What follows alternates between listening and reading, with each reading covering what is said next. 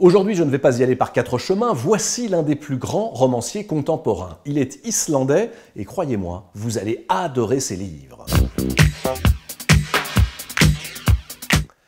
Jon Kalman Stefansson raconte le quotidien d'une île qui fascine mais que nous ne connaissons pas vraiment, l'Islande. Ses romans sont uniques, saturés de poésie. Ils se situent quelque part entre la chronique de village et la saga antique. Ils sont parsemés de philosophie et ils vous entraînent vers des hauteurs où l'on côtoie le sublime. Celui-ci, Lumière d'été puis vient la nuit, est à la fois léger comme une plume et débordant de grâce.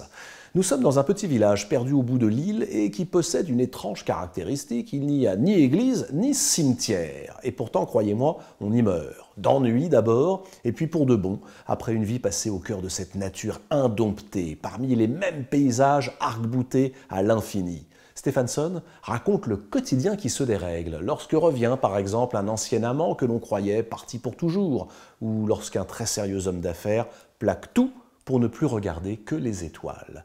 Tous les personnages nous ressemblent en fait. Ils sont bousculés par des forces qui les dépassent. Ils titubent, se cramponnent, s'écroulent, mordent de la poussière, se relèvent, se débattent dans des familles bancales. Il y a des pères qui ne sont pas à la hauteur, des mères trop lointaines, des frères qui ne parviennent jamais à se tendre la main, et puis surtout des secrets de famille douloureux et des fantômes cachés dans les placards. Stephenson n'a pas son pareil pour défricher l'épaisse forêt des âmes, mais il y parvient sans amertume et presque joyeusement. C'est le plus implacable des observateurs de l'humanité et un merveilleux styliste. Lumière d'été puis vient la nuit de Jon Kalman Stephenson, c'est à lire aux éditions Grasset.